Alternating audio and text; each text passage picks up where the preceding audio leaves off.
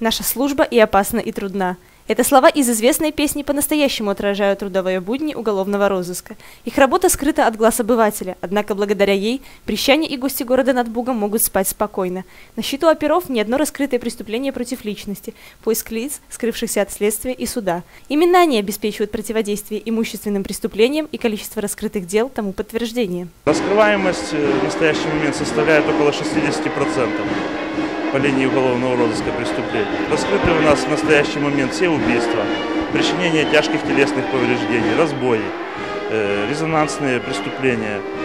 Многие, в том числе э, ДТП, они вызывают очень большой общественный резонанс, когда водитель э, сбивает пешеходов на проезжих частях, правильно, или на обочинах дорог и скрывается с места. Поэтому на такие преступления, конечно же, выезжают самые подготовленные сотрудники уголовного розыска. И эти преступления мы стараемся раскрыть э, ну, небольшой промежуток времени. Сегодня в уголовном розыске трудится огромное количество настоящих профессионалов. Каждодневный нелегкий и опасный труд сформировал образ мужественного, решительного и нравственно твердого сотрудника. Они ответственно выполняют свою работу и, следуя девизу, служат закону, народу и Отечеству. На торжественном мероприятии лучшим сотрудникам уголовного розыска были вручены грамоты и нагрудные знаки. Как отмечают ветераны, принявшие участие в совещании, на смену им пришли достойные опера, которые отлично работают, используя современные технологии и новые схемы. Сотрудники э, уголовного розыска обеспечены и техникой, и компьютерами, и всеми другими оперативно-техническими средствами. Сейчас на высшем уровне находится и криминалистика, где раньше следы надо было вручную откатывать пальцы преступников. В настоящее время все это делается автоматизированно.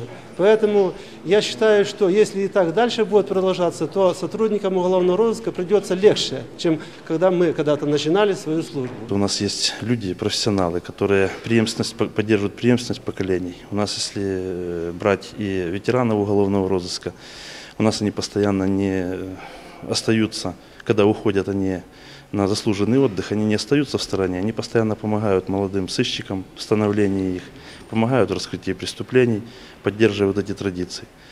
Э, это, конечно, э, очень большое подспорье в нашей работе.